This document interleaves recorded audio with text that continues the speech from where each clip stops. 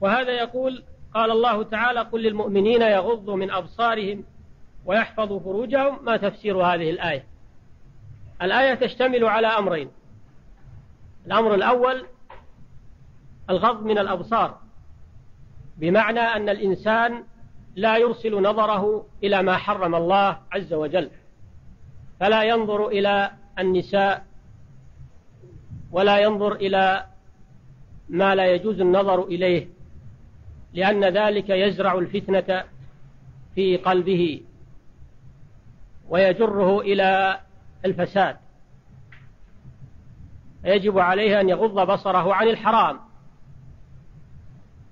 النظر إلى المرأة النظر إلى الصور صور النساء لأن المصيبة اليوم والفتنة عظمت. صارت النساء والجميلات يصورن على الجرائد والمجلات وقد تعرض صورهن في أفلام وتصل إلى البيوت وإلى الأمكنة المختلفة.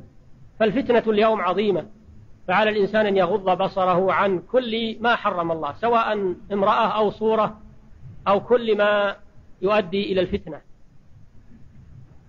والأمر الثاني ويحفظ فروجهم أمر الله بحفظ الفروج عن الفاحشة.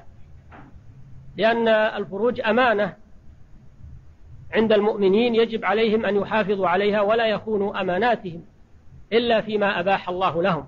والذين هم لفروجهم حافظون إلا على أزواجهم أو ما ملكت أيمانهم فإنهم غير ملومين. فيحفظوها من الفساد ويحفظوها أيضا من الانكشاف وأن لا يبدوا عوراتهم. كل هذا من قطع وسائل الفتنة والطرق الموصلة إليها.